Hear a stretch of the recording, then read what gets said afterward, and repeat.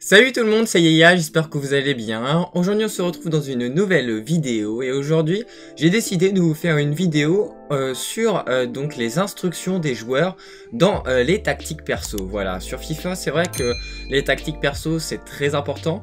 on voit énormément de vidéos de joueurs pro ou même de youtubeurs hein, qui présentent sa tactique perso. Moi-même j'ai fait des vidéos en présentant ces tactiques perso. Mais il y a des choses que je pense qu'on n'approfondit pas assez dans ce genre de vidéos, c'est les instructions. C'est quelque chose d'essentiel et c'est quelque chose que on oublie trop souvent de vous montrer ou surtout de vous présenter. Et dans cette vidéo, le but, ça sera surtout de vous présenter les instructions. Euh, et moi, je vais vous montrer surtout aussi euh, celles que j'utilise pour les joueurs à chaque poste. Donc pour commencer, euh, pour vous présenter vite fait les instructions, rapidement, je, même si je pense que la plupart des gens qui regarderont cette vidéo savent ce que c'est, pour ceux qui ne savent pas, c'est des, euh, des tactiques qui vous permettront euh, tout simplement de choisir ce que doit faire l'ordinateur lorsque, le, lorsque tu ne contrôles pas le joueur. Par exemple, avec de l'aine, si je ne contrôle pas, est-ce que le joueur va monter quand je vais avoir le ballon? Est-ce qu'il doit rester derrière? C'est moi qui va décider via les instructions. Euh, que si le joueur monte ou pas. Donc du coup, euh, on va euh, partir vous montrer tout ça. avant toute chose, je tiens juste à dire, voilà, pour ceux qui se demandent l'équipe, je joue actuellement avec cette équipe-là, c'est pour faire les défis icônes swaps Ligue 1 avec 9 joueurs premiers détenteurs. Donc voilà, juste si vous vous demandez pourquoi je joue avec cette équipe, en tout cas, on est parti donc dans les tactiques perso et on va pas s'attarder sur ma tactique perso. Si vous voulez la regarder, n'hésitez pas à faire pause, voilà.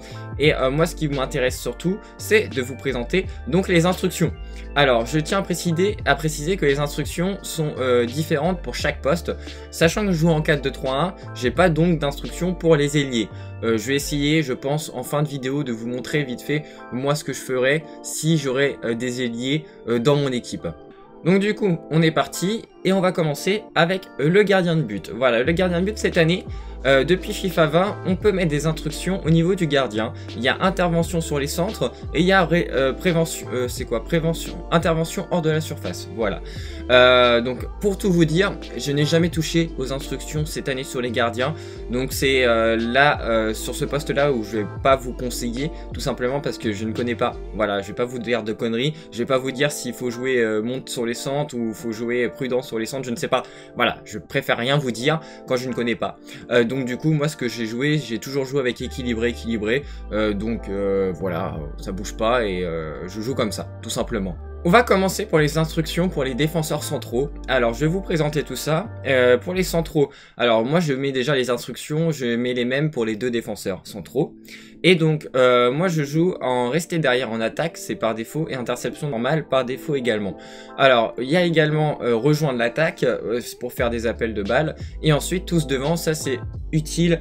Je vous le dis, je vous le recommande que si vous êtes mené genre à 5 minutes de la fin, vous avez un défenseur central du style Van Dyke que vous savez qui peut mettre des bons ballons, euh, qui peut mettre des têtes, voilà, qui peut finir des actions. N'hésitez pas à utiliser tous devant seulement si vous utilisez votre tactique perso en ultra offensif. Voilà, sinon il faut absolument que vous, vous, vous mettez rester derrière en attaque, sinon il n'y a aucun intérêt que vos centraux montent vers l'avant lorsque vous gagnez par exemple ou lorsque vous faites match nul. Il n'y a aucun intérêt, c'est le meilleur truc à faire, c'est rester derrière en attaque pour les centraux, ça paraît assez logique. Hein. Euh, maintenant, passons aux euh, latéraux. Donc c'est pareil des deux côtés, voilà, je vais pas faire une différence pour l'arrière droit ou l'arrière gauche. Euh, pour moi, les latéraux, je leur mets donc en course offensive, rester derrière en attaque, interception normale et type de course débordement. Alors, pour tout ce qui est interception, d'ailleurs, je tiens à préciser, voilà, moi je suis un joueur qui ne touche pas spécialement aux interceptions parce qu'on peut mettre agressive prudent ou normal. Moi, je joue toujours en normal, voilà. Je suis pas un tacticien au niveau des, des interceptions. Donc voilà, si vous voulez plus de détails, je vous invite à aller voir d'autres vidéos, euh, d'autres youtubeurs ou d'autres joueurs pro, euh, afin de vous renseigner plus sur ce domaine-là, parce que c'est vraiment le domaine euh, des instructions où je suis vraiment le moins connaisseur avec le gardien. Donc en dehors des interceptions, vous avez donc en course offensive, et c'est là où ça va être le plus déterminant pour votre latéral. moi personnellement, euh, je mets rester derrière en attaque. Voilà. Alors vous avez le choix également entre attaque équilibrée, c'est-à-dire qu'il peut monter de temps en temps, euh, faire des appels de balles, comme on va dire, un peu dans la vraie vie. Et ensuite euh, on peut mettre rejoindre l'attaque. Ça je l'utilise personnellement pareil que quand il faut euh, absolument que je marque, il reste 5 minutes à jouer, je dis à mes latéraux de monter vers l'avant. Mais sinon je n'utilise jamais ça. Moi ce que je peux vous conseiller, moi je vous conseille de rester derrière une attaque si vous êtes un joueur qui joue avec un bloc bas. Comme ça ça vous permet voilà d'avoir euh, 4 un ligne de 4 défensifs euh, très très correct et toujours en place. Après, si vous aimez faire monter de temps en temps vos latéraux, vous pouvez mettre attaque équilibrée. Franchement, c'est à vous de voir suivant vos styles de jeu entre ces deux choix-là. Au niveau du type de course, alors vous avez mix, attaque, euh, vous avez inversé et débordement. Personnellement j'utilise débordement, alors même si j'aimais rester derrière en attaque, ça n'a pas vraiment d'utilité. Mais au moins si euh, par exemple je appuie sur L1 pour que mon latéral monte, au moins il va déborder, il va pas rentrer dans l'axe. Moi je peux, c'est ce que je vous conseille hein, de mettre débordement, étant donné que voilà votre latéral, le but c'est qu'il déborde pour centrer la plupart du temps. Ça va pas être de marquer avec, euh, qui rentre dans l'axe. Donc vraiment je vous conseille vraiment d'utiliser débordement au niveau des types de course. Bon, je vois que ça fait déjà 6 minutes que j'enregistre, euh, donc euh, voilà, je suis désolé si la vidéo dure longtemps, mais au moins le but, je, ça va être euh, de pouvoir bien vous expliquer, même si ça dure longtemps. Au moins, je pense que quand vous aurez fini de regarder cette vidéo, vous aurez appris plein de choses, en tout cas je l'espère. Et maintenant, après les défenseurs, on va passer au milieu. Et donc, étant donné que j'ai deux MDC dans ma formation, 4, 2, 3, 1 oblige, j'ai donc des instructions à mettre pour mes milieux défensifs. Et là, pareil, ça va être les mêmes pour les deux, mais vous pouvez varier pour les deux. C'est-à-dire que, par exemple, donc le truc que je vous conseille pour si vous avez deux milieux de terrain défensif, vous pouvez mettre par exemple sur un milieu de terrain défensif resté derrière en attaque et sur un autre distance entre les défenseurs. Euh, mais sinon, rentrons dans le sujet et on va donc euh, analyser euh, moi mes instructions que j'ai décidé de mettre. En comportement défensif, vous avez le choix entre couper les lignes de passe, défense équilibrée ou marquage individuel. Ma grosse recommandation, ça je vous conseille vraiment, mais vraiment de le faire, de mettre en comportement défensif à vos MDC, couper les lignes de passe. C'est très très important de mettre ça. La défense équilibrée, j'ai jamais trouvé vraiment d'utilité à ce comportement défensif. Et marquage individuel c'est un peu dépassé. On va pas se mentir dans le foot réel on n'utilise quasiment plus de marquage individuel. Et euh, sur FIFA je trouve que ça n'a pas vraiment d'utilité. Surtout pour un milieu de terrain il va prendre peut-être le 10 en marquage individuel mais euh, voilà, ça n'a pas trop d'intérêt étant donné que euh, sur FIFA, il y a beaucoup de joueurs qui jouent en 4-4-2, donc euh, il va pas avoir quelqu'un forcément à prendre, et s'il prend un marquage individuel en MDC, ça va être un peu problématique. Donc c'est pour ça que je vous conseille surtout couper les lignes de passe, parce que c'est euh, très important, ça peut vous permettre donc d'avoir le joueur qui se place automatiquement entre une ligne, entre un attaquant et un milieu de terrain, et de couper cette ligne, et de pouvoir récupérer plus facilement le ballon, vous avez moins d'efforts défensifs à faire, vu que l'ordinateur saura que vous voulez que votre milieu défensif coupe les lignes de passe. Et ça, c'est vraiment très important. Ensuite, autre chose très importante dans un milieu, dans, sur ces milieux défensifs en instruction, le soutien offensif. Vous avez le choix entre distance entre les défenseurs, rester derrière un attaque, attaquer l'équilibré ou monter. Moi, ce que je vous conseille personnellement, c'est distance entre les défenseurs. C'est quelque chose qu'ils ont ajouté cette année, un nouveau soutien offensif, et moi je trouve très important et très intéressant, étant donné que euh, bah, souvent, ça vous permet d'avoir euh, un joueur qui va euh, être resté derrière et un autre d'être vers l'avant. Et moi, c'est ce qui se passe dans cette équipe. Thiago Mendes va rester derrière étant donné qu'il est moins intéressant offensivement. Et alors que Renato Sanchez, lui qui est vraiment intéressant, va monter, va se projeter vers l'attaque. Et c'est pour ça aussi qu'il a des stats très intéressantes et qu'il est aussi très complet. Euh, c'est euh, grâce à ça qu'il arrive à marquer pas mal de buts. Et moi, je vous conseille parce que je trouve ça intéressant d'avoir en plus des quatre euh, joueurs offensifs, un joueur qui se projette du milieu de terrain. Étant donné qu'en plus, personnellement, mes latéraux ne montent pas, ça fait un cinquième joueur qui va se projeter et ça va vraiment permettre d'avoir des nouvelles lignes de passe en attaque. Sinon, pour les autres instructions, monter, ça peut vous être utile pareil si vous avez un MDC qui est euh, très intéressant offensivement. Par exemple Kevin De Bruyne que je peux utiliser MDC, je, je le mettais monter parce que ça pouvait vraiment apporter un surplus offensif. Après euh, voilà, je vous conseille d'utiliser plutôt monter pareil si vous êtes mené parce que sinon le problème c'est que vous allez avoir des trous au milieu de terrain. Ensuite, euh, vous avez aussi resté derrière en attaque qui est très intéressant pour un MDC comme pour les latéraux. Voilà, je peux, vous conseiller personnellement, c'est de mettre un distance entre les défenseurs pour un joueur à vocation plus box-to-box et pour un MDC un peu plus pur comme Thiago Mendes, rester derrière en attaque peut faire vraiment euh, des différences, c'est très intéressant. Ensuite au niveau des interceptions, comme je vous l'ai dit, voilà, j'utilise pas d'interception, donc on va passer très vite là-dessus. Et ensuite en position défensive, euh, vous avez deux choix couvrir L par défaut, couvrir centre. Et moi personnellement pour des milieux défensifs, euh, quand vous avez une formation 4-2-3-1, étant donné que vous avez déjà deux latéraux plus deux joueurs un peu plus excentrés, je vous conseille qu'on couvrir centre, comme ça vos joueurs restent bien au milieu de terrain quand l'adversaire a le ballon et ça vous permet donc bah, de pareil hein, de, de, couper les lignes de passe plus facilement et d'avoir plus de monde dans l'axe. Donc vraiment ça je vous le conseille vraiment pour les MDC. Voilà, on a terminé avec les milieux défensifs. C'était un peu long, certes, mais ça a été intéressant, je pense, et c'est surtout à ce poste-là où les instructions sont plus intéressantes, et plus euh, intéressantes, voilà, à utiliser. Je vais y arriver.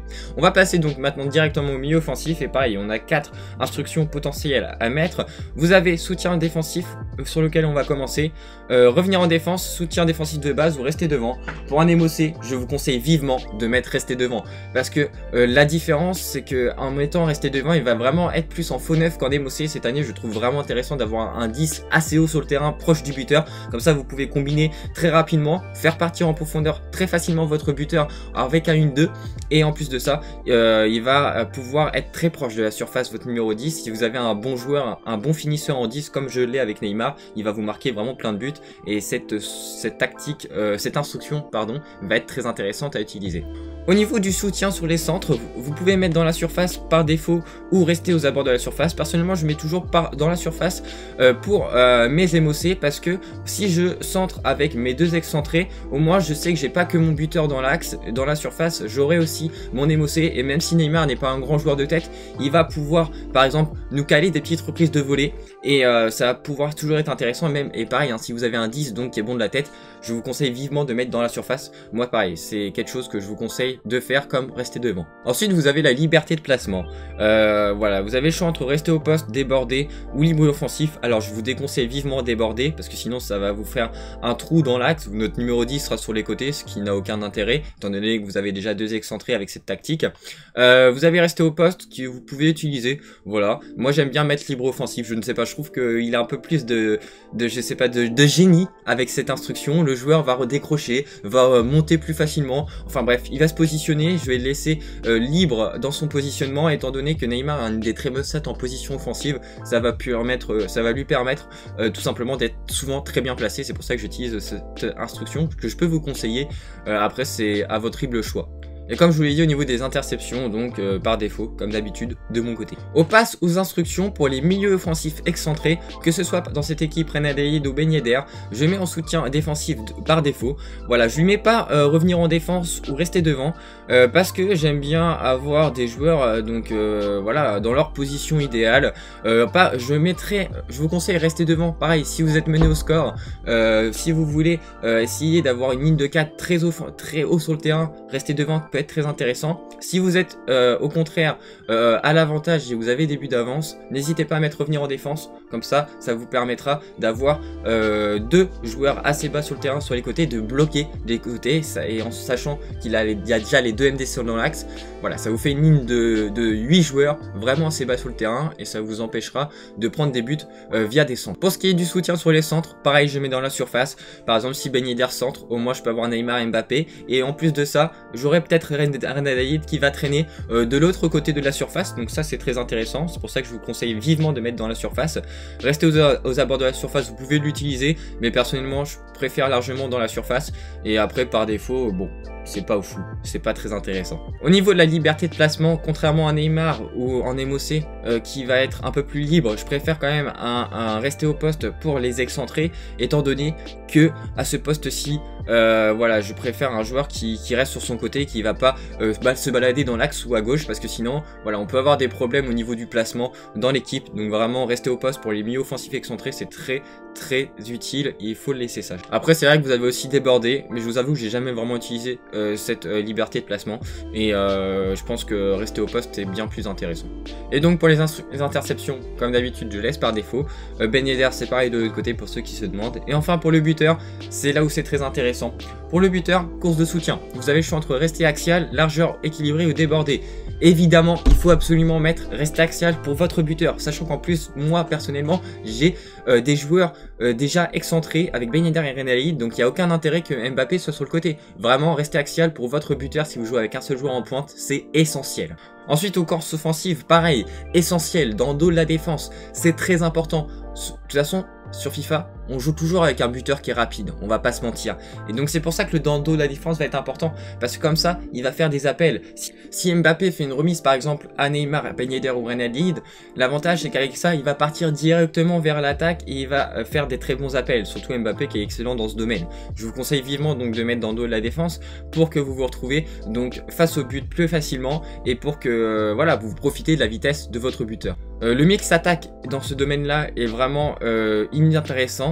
Tout comme pivot. Voilà, pivot c'est pas intéressant parce que euh, vous n'allez pas jouer avec un joueur en pivot euh, sur FIFA. Voilà, un Giroud est inutile sur FIFA, vous le savez tous.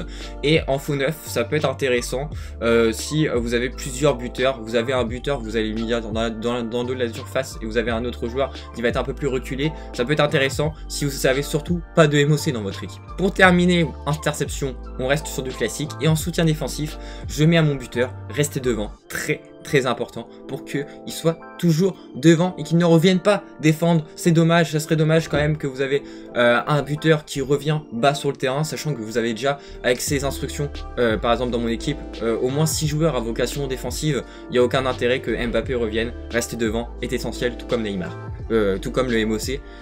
Donc voilà, j'ai fait le tour au niveau des instructions de mon équipe avec cette formation 4-2-3-1. Je vais sauvegarder tout ça et ce que je vais faire, c'est que tout simplement, je vais montrer juste rapidement les instructions euh, pour les ailiers. Je vais vous les présenter rapidement et vous dire mon choix si je jouerais par exemple en 4-3-3. Donc voilà, j'ai mis mon équipe en 4-3-3. On s'en fout que les joueurs soient au mauvais poste. On s'en fout qu'il n'y a aucun aucune instruction. Moi, ce qui m'intéresse, c'est de vous montrer euh, les instructions pour les ailiers. Alors, pour les ailiers, moi, ce que je peux vous conseiller, personnellement, c'est euh, déjà un rester euh, devant ou un soutien défensif de base. Voilà, si vous avez envie d'avoir trois joueurs vraiment très offensifs, n'hésitez pas à mettre rester devant, surtout si vous jouez 110, ça peut être très intéressant. Pour la création d'occasion, vous avez le choix entre l'âge équilibré, rester au large, libre offensif, repiquer au centre. Je vous conseille vraiment donc soit rester au large, soit repiquer en centre, ça dépend si vous avez un joueur qui est gaucher à gauche ou gaucher à droite. Euh, voilà, si vous avez un joueur sur son faux pied, répliquer au centre peut être intéressant. Inversement, si c'est un droitier à droite, par exemple. Et euh, libre offensif, je vous le déconseille pour un.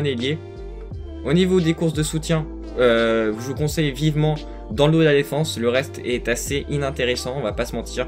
Dans le dos de la défense, comme pour le buteur, histoire que les ailiers prennent la profondeur, et sachant que les ailiers sont forcément rapides dans votre équipe, n'hésitez pas à utiliser euh, cette instruction. Pour le soutien sur les centres, euh, dans la surface, tout comme euh, les, euh, milieux excentrés dans mon équipe, vraiment je vous conseille dans la surface parce qu'au moins vous avez un autre joueur que votre buteur qui va être dans la surface. C'est logique, c'est le but de cette instruction. Et donc c'est fini pour les ailiers. Moi ce que je voulais vous montrer aussi, ce que j'avais pas oublié tout à l'heure dans la vidéo, c'est de vous montrer des instructions pour donc les milieux axiales parce que c'est vrai que dans mon équipe j'ai des MOC, des MDC, mais j'ai pas de MC et il y a des instructions un peu plus particulières pour ce poste là. Euh, donc moi ce que je peux vous conseiller quand vous avez 3 N milieu, c'est de mettre un rester derrière en attaque pour ceux qui est dans l'axe, histoire d'avoir un joueur qui vraiment reste derrière. Et vous pouvez mettre un distance entre les défenseurs pour les deux autres, histoire que vous avez des joueurs, euh, qu'au moins un des deux autres joueurs se projette vers l'avant et qu'un autre euh, reste un peu plus au milieu du terrain entre l'autre milieu central et celui qui va se projeter vers l'avant. Au niveau du soutien sur les centres, je vous conseille d'en mettre au moins un dans la surface, histoire qu'il en ait, qu'il y en a un qui arrive euh, du, euh, du centre du terrain pour aller euh, placer pourquoi pas sa tête. Je vous conseille aussi de mettre sur un autre joueur un petit rester aux abords dans la surface, histoire que vous avez un joueur au cas où si c'est dégagé, ça revient dans l'acte, un joueur pour armer une frappe soudaine, une reprise de volée. Et ensuite, euh, au niveau euh, du position défensif, je vous conseille euh, alors un couvrir centre évidemment pour ceux qui est tout au centre, c'est essentiel.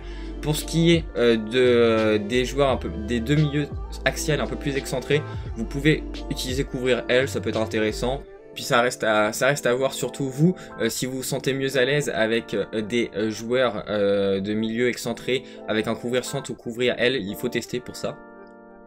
Et pour ce qui est de la liberté offensive, je vous conseille vraiment de mettre rester au poste, à moins que vous voulez un joueur un peu plus haut sur le terrain, qui soit un peu libre et offensif, qui est largement compréhensible. Vous pouvez utiliser sur un des trois, on va dire, mais vraiment, il faut que ça soit resté au poste pour au moins deux des trois milieux de terrain.